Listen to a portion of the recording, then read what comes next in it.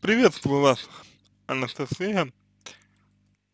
А, понимаете, какая штука.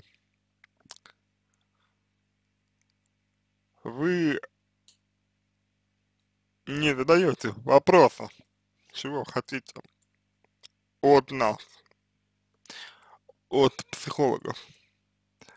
А, вы просто описываете ситуацию. Я бы сказал, а, что в зависимости от вашего зап запроса, в зависимости от того, какой запрос, э, и различается, в общем-то, вектор направления работы с вами. Если гармонизировать отношения с мужем, это одно дело, если вы решили с ним расстаться, мы поможем пережить расставание, если вы хотите разобраться в себе, это другое, понимаете? Но еще раз, вы не задаете, чего вы хотите. Я полностью солидарен с коллегой Игорем Летучим, который говорит, что как бы вы для того и задаете вопрос, чтобы, чтобы разобраться в себе. Но я поддержу в какой-то степени и другую коллегу, Скилкову Ирину, которая, которая спрашивает, зачем вы вышли замуж за наркомана. Правда, есть тут вариант, что когда вы выходили замуж, ваш муж наркоманом еще не был, а стал наркоманом только в процессе брака, но тем не менее. Понимаете, э, в этой ситуации, в ситуации, в которой вы оказались непосредственно э, из описания вашего, вашего э, так сказать, э, жизненного эпизода, э, вы находитесь в треугольнике Карпмана, в котором являетесь жертвой. У вас есть тиран, это ваш муж, и спаситель муж подруги. Вам из этого треугольника Карпмана необходимо выйти. Для того, чтобы из него выйти, необходимо работать с личной ответственностью. Личной ответственностью за себя, за свои поступки и самое главное, наверное, за жизнь вашего ребенка. Пока э, вы боитесь брать на себя личную ответственность, боитесь личной ответственности, скорее всего, боитесь ошибиться, боитесь сделать что-то не так и неправильно, ну, ситуация не изменится. Следующее.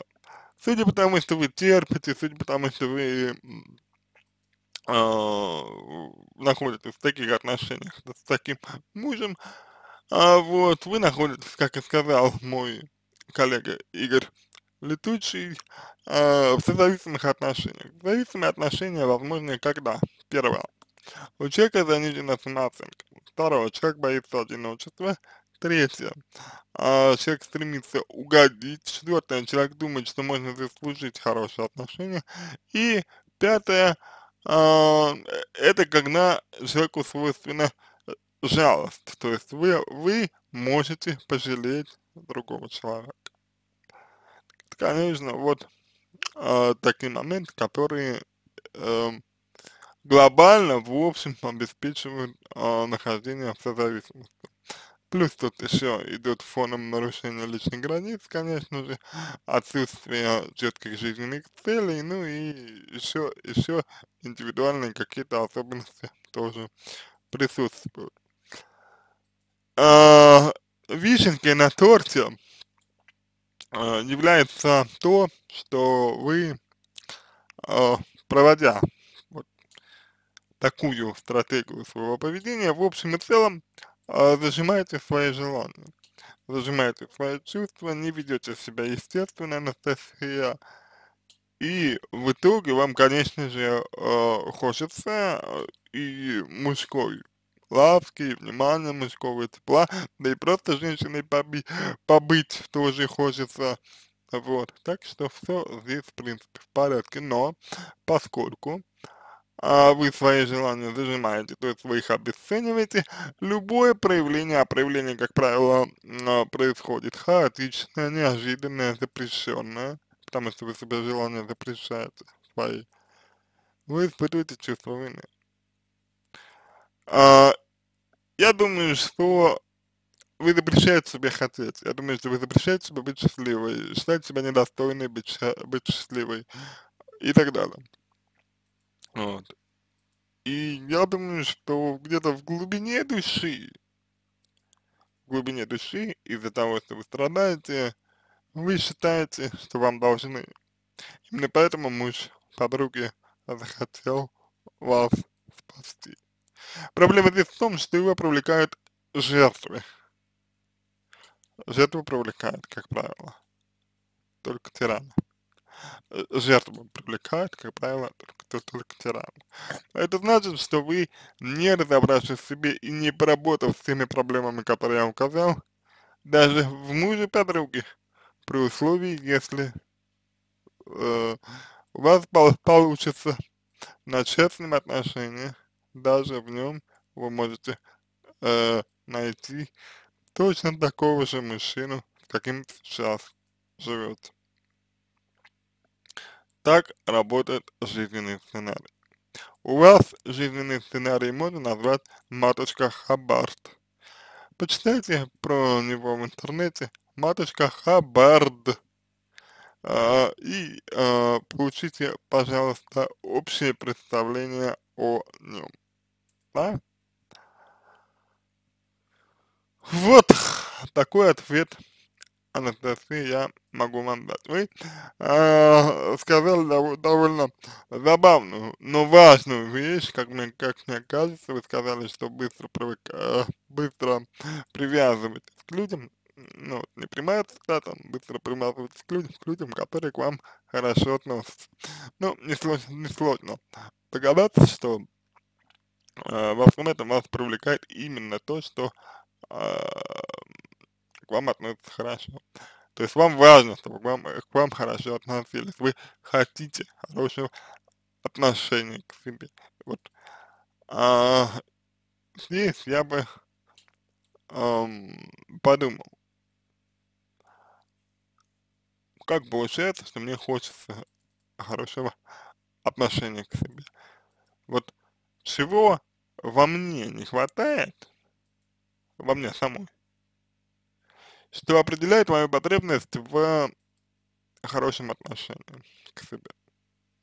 Вот постарайтесь на эту тему подумать. Я думаю так. И сформируйте все же вопрос к психологу. То есть, а, чего вы хотите от нас? Потому что ситуация-то, конечно, произошла. Ситуация-то, конечно, неприятная. Но она дала всем вам, кроме ребенка, то, что вы хотите.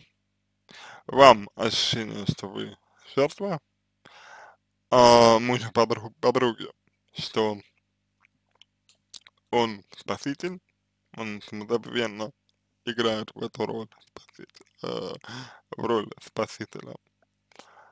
Э, вашему мужу дала возможность проявить себя как тирана, как тирану, вот. А мужу, а подруги ваши, ну, даже не знаю, роль стороннего наблюдателя или, выражаясь э, термин, терминологией а, одного одного известного психолога, роль простака. Почему простака? Кстати, эта роль относится и к вам тоже. Э, правда, наверное, в меньшей степени, но тем не менее. Потому что вы говорите про э, свою вину перед подругой, то есть не хотите влезать в семью, вот.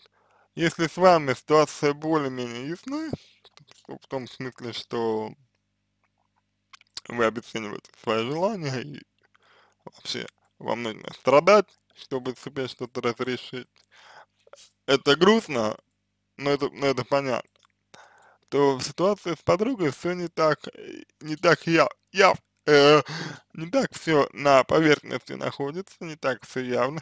Дело в том, что подруга не может не знать а, о вашем муже. Зная о вашем муже, она все равно приходит к вам домой вместе со своим мужем. А, поскольку у них сейчас проблемы, они разводятся или вместе не живут, тем более странно, что э, ваша подруга приводит своего мужа к вам домой, зная, что между вами и вашим мужем есть проблема. Я не думаю, что для нее является не, неожиданным тот факт, что ее муж или почти бывший муж проявляет к вам симпатию. Потому что она все это знает. И имея э, в виду, что у вас есть проблема с самооценкой, есть э, чувство вины, скорее всего, в будущем, если вы ничего не поменяете в своем поведении, подруга вас хочет обвинить. Обвинить в том, что вы увидели у нее мужа и способствовали распаду ее семьи. Потому что одна жертва всегда порождает и притягивает тирана. Ну или спаситель. Что, в принципе, одно и то же. Потому если вы не хотите, чтобы ситуация оборачивалась для вас негативным образом то э, начинайте раздумывать над тем, как вам либо поработать со специалистом, либо э, изучите вот хотя бы два этих момента. Треугольник Карпмана, э, матушка Хаббард, э, жизненный сценарий, и, наверное, еще книгу Валентины Москаленко «Созависимость. Семейная болезнь» почитать.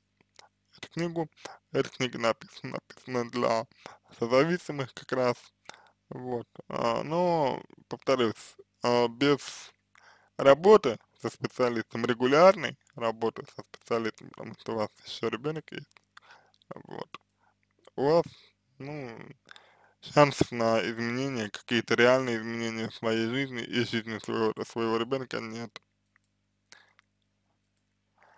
На этом все. Я наде надеюсь, что мой ответ был вам полезен. Я желаю вам всего самого доброго и удачи.